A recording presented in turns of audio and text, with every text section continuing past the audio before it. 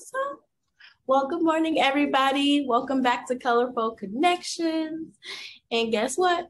It's Science September. so we have some cool experiments we will be doing throughout this whole month. So you definitely want to make sure you are tuning in. So today's activity, we will be making a balloon rocket. So the materials needed for that is durable string. Um, and you kind of want to make sure it's a nice length. Mine's is kind of long, but I don't think I'm gonna use the whole thing. But definitely grab that string, a straw, and you want to make sure your straw is um, big enough that the string is able to fit and have a little more wiggle room. Some tape, a balloon, and the clothes pin. So that is our materials. So, like I said, it's going to be a balloon rocket. So first we are going to, you know what, something I forgot to add. You are going to want to make sure you have like something that can hold the string. So you can have uh, the string um, basically look like this. So if you can tell behind me, I got my two chairs that I will be using.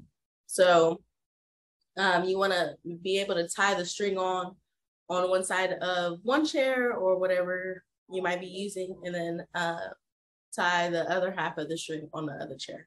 So let me show you what that look like.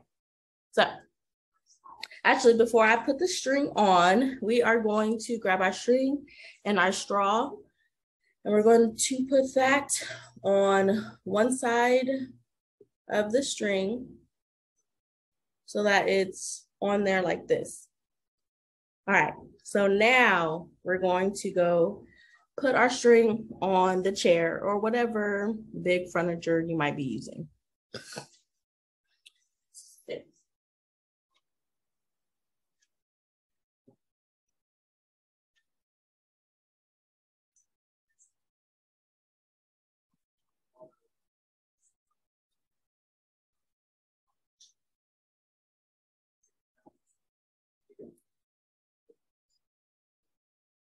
And you got one side tied real secure. And then other side. So it's like a nice straight line.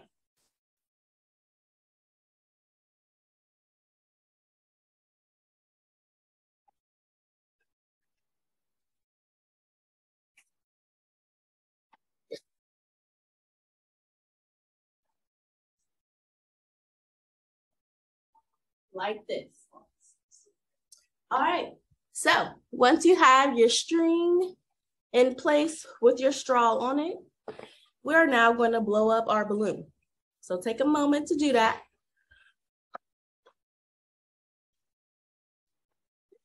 Blow it up as much as you want, but you should get a lot of air into your balloon.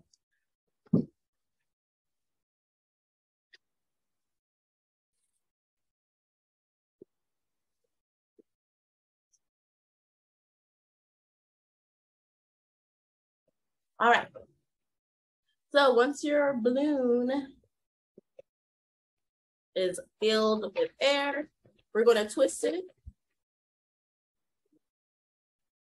And we're going to put our clothespin on the end. Yep, just like this. So no air is coming out.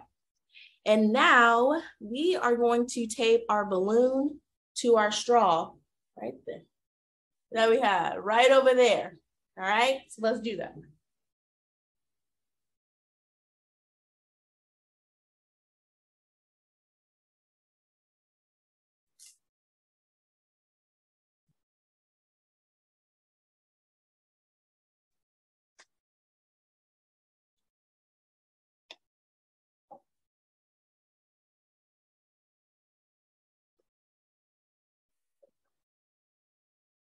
And make sure you put the side where the clothespin is closer to um, the chair or like I said, whatever object you are using to keep your uh, string in place.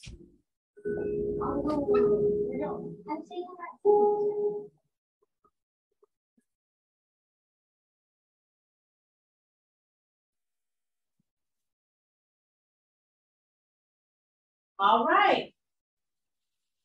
So this is how it's gonna look.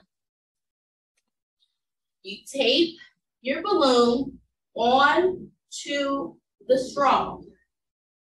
Okay, everybody. So like I said, it's a balloon rocket. So let her blow. so what we're gonna do now, we're gonna take the clothespin and we're gonna release so that the balloon is going to zoom right across. This is the science part. Y'all ready for it? In three, two, one, go!